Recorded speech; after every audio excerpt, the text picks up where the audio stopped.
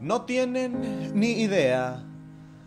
Habrá muchas personas que a lo largo de la historia critiquen a este equipo. Un equipo que va más allá de 11 hombres jugando fútbol. Que va más allá de una escuadra deportiva. Más allá de un sentimiento. Más allá de una región ocupada por ciudades hermanas. Más allá de un conjunto que semana con semana nos regala momentos buenos y malos. No tienen ni idea de lo que es el Club Santos Laguna. ¿Y cómo van a tener idea de lo que es ser guerreros si no sufrieron la escasez económica que vivió este equipo en el inicio de su historia? ¿Cómo tendrán idea si no sintieron lo que es perder a un hijo? Cuando cada vez que encontramos y formamos una estrella, nos la arrancan de los brazos. ¿Cómo van a tener ideas si no fueron testigos de aquel momento glorioso de ver a Jared Borghetti levantarse por los aires y rematar con el corazón aquella pelota que se incrustaba en las redes de la portería? en un estadio que vibraba por sentirse el rey del mundo al alcanzar la primera estrella para este equipo.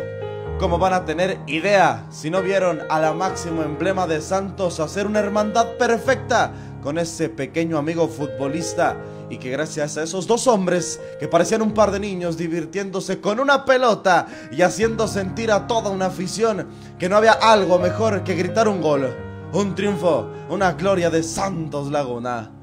Tener idea de lo que es impotencia, coraje y frustración solo se puede sentir cuando te roban una ilusión ver cómo un arbitraje corrompido te arrancaba la felicidad de soñar en el máximo título continental, saber que tenías el poder de conquistar América y el maldito dinero quebraba esperanza alguna. ¿Cómo van a tener ideas si no se desgarraron el alma al sentir que un pedazo de ti se iba al borde del precipicio, al borde de descender, al borde de dejar la máxima categoría y que partido tras partido y con cada derrota se destruyó una parte de tu corazón. Ver cómo se alejaban las ilusiones de permanecer en el fútbol y luchando día a día demostrando por qué se le llama carrera a esta piel, salvarse agónicamente, salir avante, mantenerse y subir hasta el mismo cielo para después conseguir la tercera estrella. Pero este equipo sí tiene idea de lo que es la melancolía ese sentimiento cuando dejas aquello que te dio tantas alegrías. Dejar un estadio, dejar un nido de historias, una casa que albergaba la pasión por un equipo, una casa que hacía sufrir a aquellos que intentaban hacerle daño a esta tierra, a esta institución y a esta afición. Una verdadera casa del dolor ajeno. A esos que critican al Santos no tienen ni idea de lo que es llorar al ver cómo le pones garra pasión, entrega, minuto tras minuto, y te arrebatan un título tras otro. No tienen ni idea de lo que se siente perder la gloria, hacer una campaña perfecta, dejar el sudor en la cancha, pasar por cada etapa y al final, en el último momento, cuando solo tenías que empujar la pelota en la dirección correcta, fallar, tener otra oportunidad y volver a fallar no entender qué pasaba, por qué Dios no dejaba una vez más alcanzar esa gloria, hacer preguntas de qué pasaba y simplemente no tener idea.